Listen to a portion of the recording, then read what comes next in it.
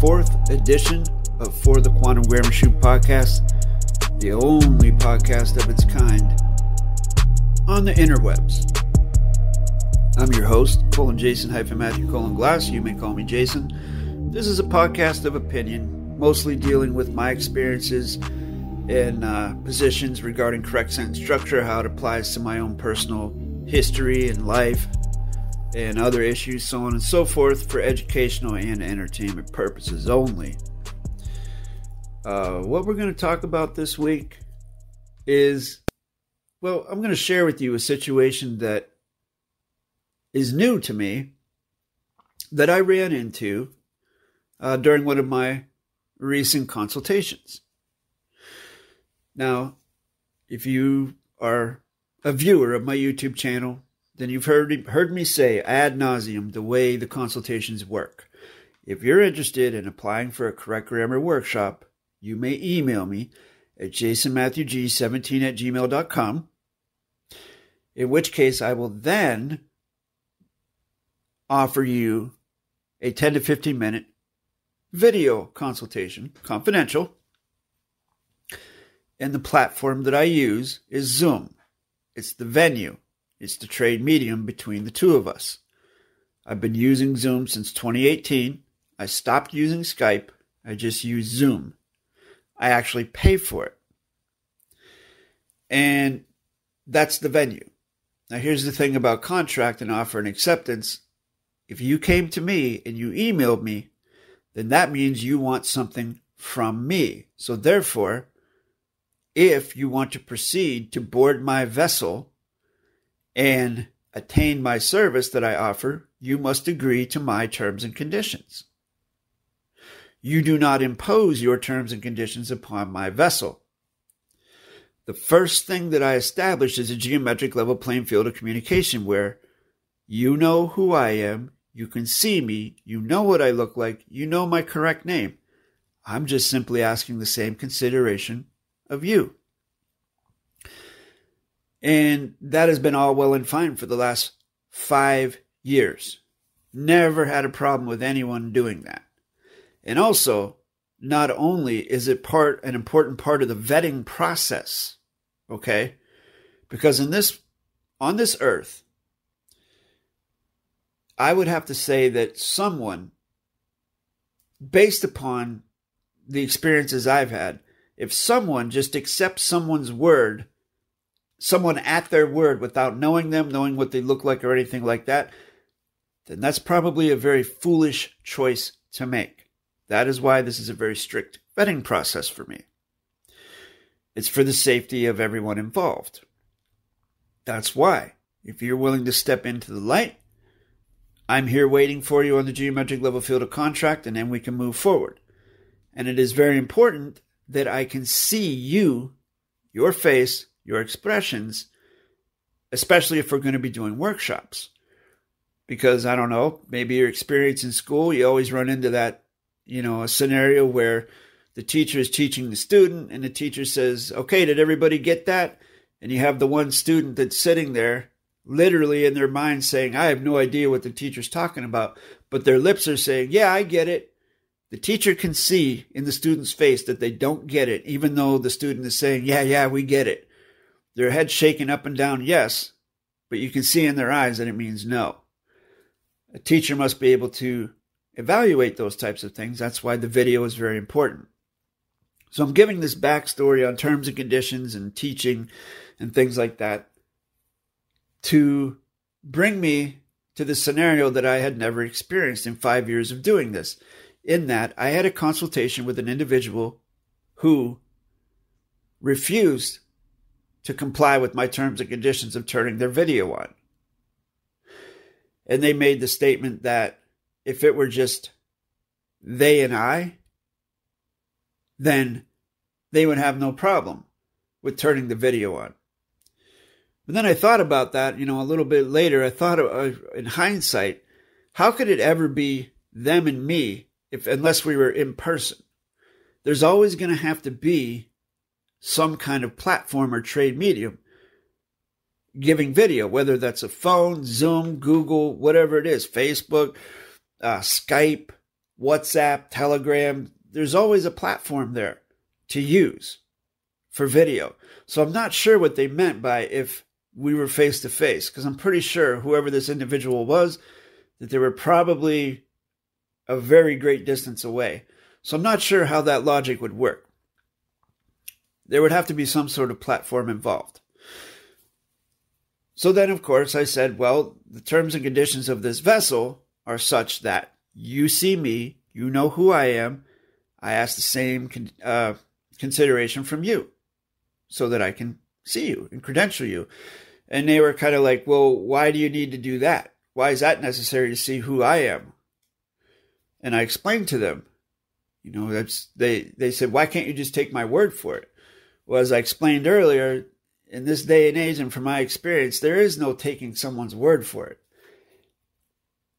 And then I also explained to them that you, meaning them, contacted me. You requested to come aboard my vessel.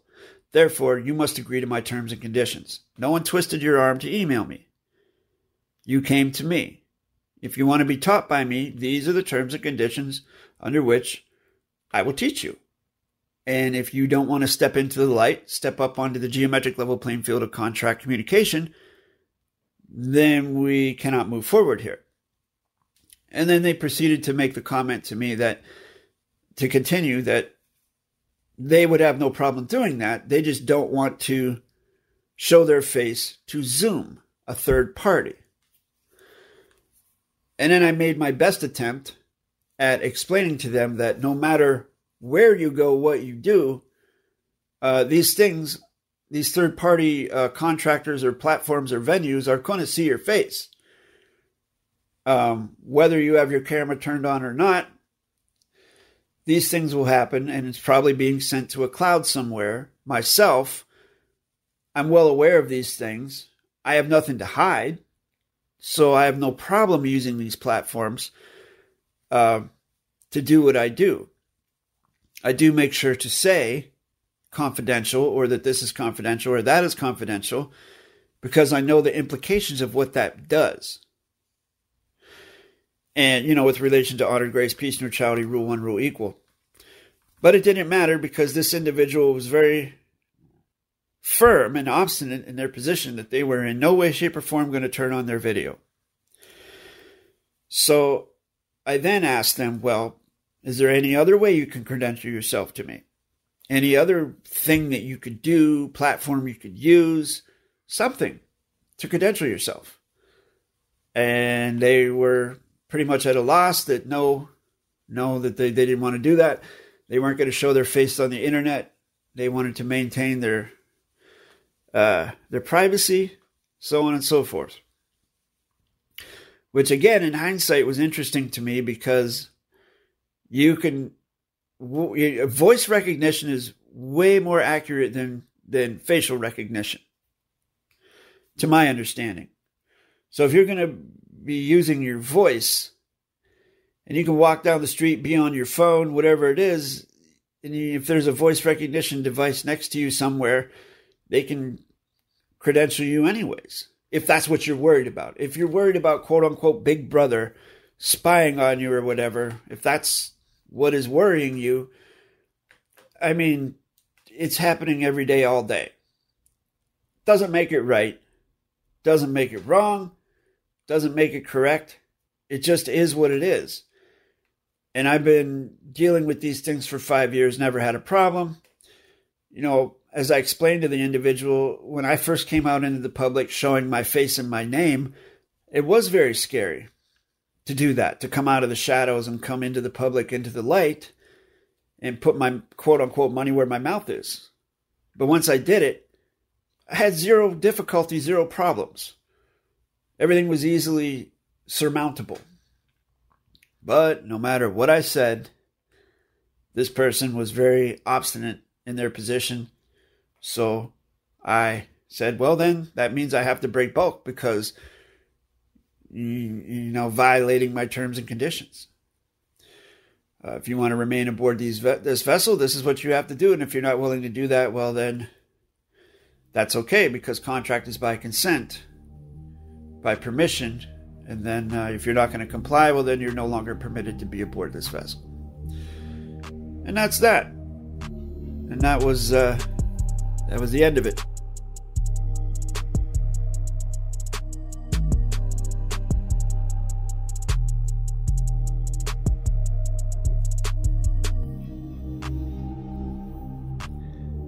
Thinking back in hindsight, because as we all know, hindsight is 2020. Thinking about the, the psychology of this individual, and I do hope they're listening to this podcast.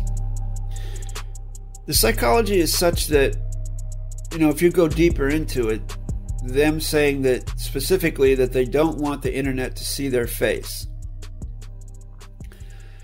Well, if you or I or this individual or anybody walk outside their door and go any place public, which, you know, like a grocery store, uh, a, D, a DMV, well, I mean, they're not really public places, but I mean, it's out in the public, so to speak. And then you walk into these vessels, which may or may not be public. They may be public and private, or one or the other, or a mix. I mean, I know the public and private can't mix, but if you look at the legality of things, you will see it's very convoluted, and those in the know will know what I'm talking about. But it's fiction, so who gives a crap, anyways? So when you walk into these places, there are cameras everywhere. Even if you're just walking down the sidewalk, people have cameras on their houses. Stores have cameras if you're walking down the street. If you're driving a new car, chances are that car has a camera filming you or filming the outside of the car or both. Wherever you go, there is surveillance. Okay? You are being filmed. Your face is being taken, you know, captured, so to speak, and stored in a cloud somewhere. The same cloud that if Zoom were recording you would be storing your face or your likeness. So it really, you know, the more I think about it, it really, I don't know if it's some sort of archaic uh, obstinacy that psychological condition state that caused this person to be so adamant in their position. And I would have to guess that they haven't watched very many videos where I do explain the terms and conditions of the consultation that we must have the geometric level playing field. Otherwise, we won't be contracting. I don't know what they thought was going to happen when, uh, if they were aware of that when they attempted to board my vessel. But as I said, you know, you walk down the street, you are being filmed. You know, people are doing TikToks or Snapchats or Instagram stories and they're filming. You're going to be caught in someone's video and be uploaded to the internet without your permission, and now your face is out there or your voice, even if it's recording. Someone's recording something in a store on a Snapchat or whatever, and you're talking in the next dial, they'll be able to recognize your voice. And with the technology we have, they'll be able to put your face with the voice, most likely. So the more I think about it, the more it does not make logical sense this, this individual's reasoning outside of the fact that that's just a term and condition that they had for themselves. And they aren't going to break it for anybody no matter what logic you throw at them, no, no matter what, it's just a rule that they have that they're not going to break. Like, for example, if I had a rule for myself where if I step outside of my, my house, I am always going to wear a hat. Doesn't matter where I go, I'm going to wear a hat. If I walk into your house and you have a rule where you have to take your hat off, I'm not going to do it. Well, then I guess that means I'm not coming into your house then because I'm not going to take my hat off. It's like, well, why wouldn't you take your hat off? You know, it's rude, first of all, not to take your hat off. And it's hot in here. I don't want you to take your hat. I, I, I want you to take your hat off. You can just leave it outside and put it back on when you get out. I say, well, no. No, I'm not going to take my hat off. It's just what I do. I've been doing it for years. You know, something sort of like that. It's just it's a very uh, I, I understand where someone can become very set in their ways, like very set in their ways to the point where any type of new nuance or or adjustment to be made is very difficult for them. I myself am no stranger to this uh, in certain aspects, as I'm sure people who know me can probably tell you. However, I am open to things, and for honor and grace, I do make concessions. In this instance, it just wasn't a possibility. Number one, because I'd never been confronted with that issue with that issue before, and number two, because even in the in the instance in the now space when it was happening, it made no logical sense to me. It didn't. It made no logical sense to me that this individual was refusing to turn their camera on, yet they had contacted me. Like it just makes me wonder what did they think? What did they think would happen if they're aware of those terms and conditions of Rule One, Rule Equal, or perhaps they don't uh, quite understand what Rule One, Rule Equal is. I don't know. And again, as far as Zoom seeing them, well, cameras probably, unless they live somewhere in the middle of nowhere where there are no cameras, no surveillance, no traffic lights, no people with cell phones, then I don't see how, yeah, it just, it boggles my mind. It really does. It really does. And I guess that's a psychological uh, issue with confidentiality. I always say if I'm if I'm sending a voice message, I always say confidential before I begin speaking. If I send an email, I usually say or write colon confidential somewhere in there, especially in the title or subject line of the email. Everything is in the confidential. Now, where it goes from there is not up to me. What I have done is just put my authority there, my because I'm the author of the email or the author of the, the verbal message, that that's my terms and conditions. Confidentiality. If you, as a third party, are going to violate that, then that's a whole new set of things for you. That's going to uh, impact you more than me. Because even though I do say confidential or write confidential, I'm not doing anything that's going to cause anyone any grief or trouble if it were to be, to be made public. It's just not. I don't put myself in those situations purposely. I'm very careful. So, again, you know, individuals who feel this way, I guess that type of, I'd have to have that better explained to me in the context of how they live their life overall. It's very interesting. You learn something new every day. I am no uh, different. I'm learning stuff all the time. I look at, at life as a big school of learning. That's how I like to look at it. And I'm definitely open minded. And if I come to someone and I want something from them, if I reach out to someone and contact someone and, and want a service or, or something from them, I necessarily will I will agree to their terms and conditions if I really want the service that they're providing. I'm not going to try and come on and impose myself on them. Although if it is something important like this, you know, I may ask and it be, you know, is it okay if I don't turn my video on? Because I, I don't want to, because I don't want Zoom to see me. And any other individual may say, well, yeah, that's okay. I don't need to see who you are for this. Okay, that's fine then. But if you're going to try and, you know, impose it, then that's different. Now, let me be clear this individual did not impose it at all.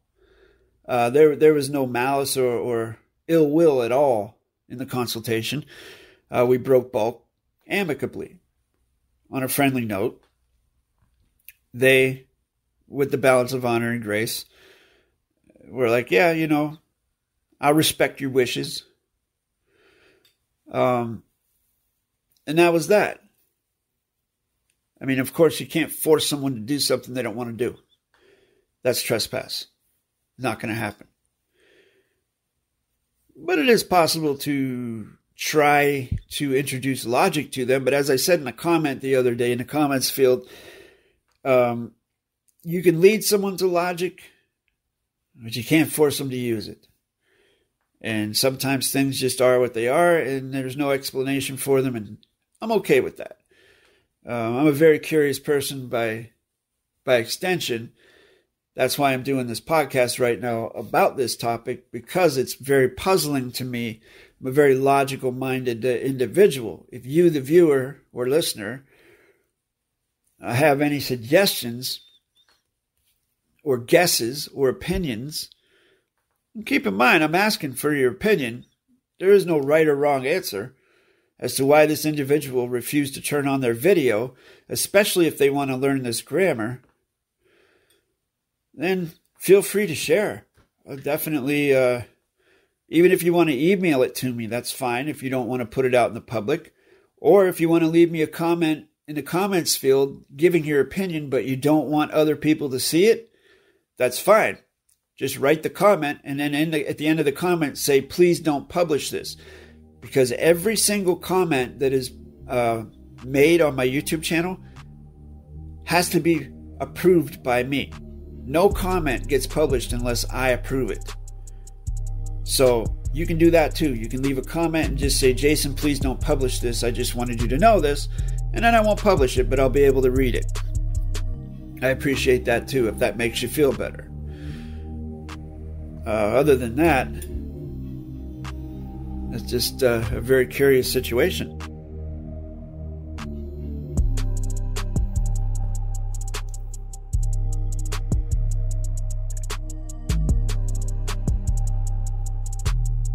On the whole, internet security to me is a joke. Now, I have friends that are really, really into computers and they're very proficient in the technology and security and things like that. And they're usually sending me suggestions to do this or that to improve the security of my computer of my operating system. But I've never really been a tech guy, no more than I need to be, really. And as far as security goes, of course, I would be very sad if all of my videos and everything disappeared tomorrow. But I don't see it happening. I mean, I've never had a security breach, really. I've never had any problems with any of those types of things. Nothing that I couldn't handle.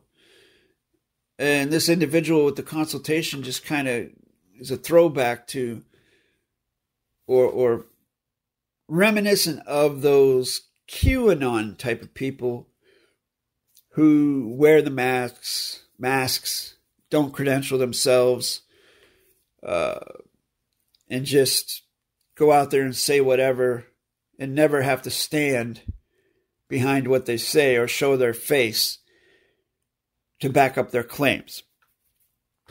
Well, I mean, personality wise, I'm not saying that this person reminds me of that. I'm saying it's reminiscent of that type of mentality of not showing your face for whatever reason. Like there's still people out there that do that. They use nom de guerres on the internet. They won't use their real name, their correct name. They won't put their picture up there. And how can anyone have any type of credibility when you do that? I just don't see it. Like if you if you're a live life claimant, you must credential yourself. You must have three witnesses, three other live life claim witnesses. You must have a physical picture of yourself on there and DNA to prove your claim of being a live life claimant. No one's just going to take you, like someone once put in a comment, why do I need witnesses? I, I'm my own authority. I can, you know, certify that I'm a fact. I don't need witnesses. Well, okay. That may be okay for you. Sure, you're a fact to yourself. You're a live life claimant for yourself. But once you start uh, contracting with other contract parties, that's not going to fly. That's not good enough. You have to have a continuance of the evidence to prove what you who and what you are. in order for people to take you seriously. Unless you just want people to just believe whatever comes out of your mouth with no certification. I mean, think about it. I mean, yeah, the world would be a beautiful, wonderful place if no one was malicious, if no one lied, and everyone was straight up, told the truth, and that was it. Then you could literally take everyone at their word with no problems, with no qualms. Trust would be abundant, 100% everywhere. Think of how beautiful the world would be. Sorry to burst the bubble, though. That is not the earth we live on. It is not. Nowhere even close. In order, if you're going to make a claim and have it have standing with anyone else other than yourself, you have to be able to certify it. You have to be able to credential it. Your word is not enough to credential a claim unless you've done so much, uh, I don't know, perform so many performances that are public record that people can take your word for it. Like, uh, let's take the, the guitar player Edward Van Halen, who passed away not too long ago. If he, and I know who he is, if he would come to me and say, I am one of the world's greatest guitar players and the most innovative guitar players, I could literally take his word for it because he has such an enormous body of work and performances that, yeah, okay, yeah, buddy, I take your word for it, man. You don't got to tell me twice. I don't need David Lee Roth to tell me what a great guitar player you are. I don't need Sammy Hagar to tell me that. I don't need Michael Anthony or Alex Van Halen to tell me what a great guitar player you are. I just, I know I can look it up on YouTube and find it for myself. Or he could just pick up his guitar and start playing, and boom, boom, boom, there it is. Wow. Yeah, no doubt. You're a great guitar player, one of the world's best. For me, you know, making a claim of authority of correct sentence structure, meaning uh, that I'm an authoritative grammar tutor, well, I am also the authority of over 400 videos on my YouTube channel.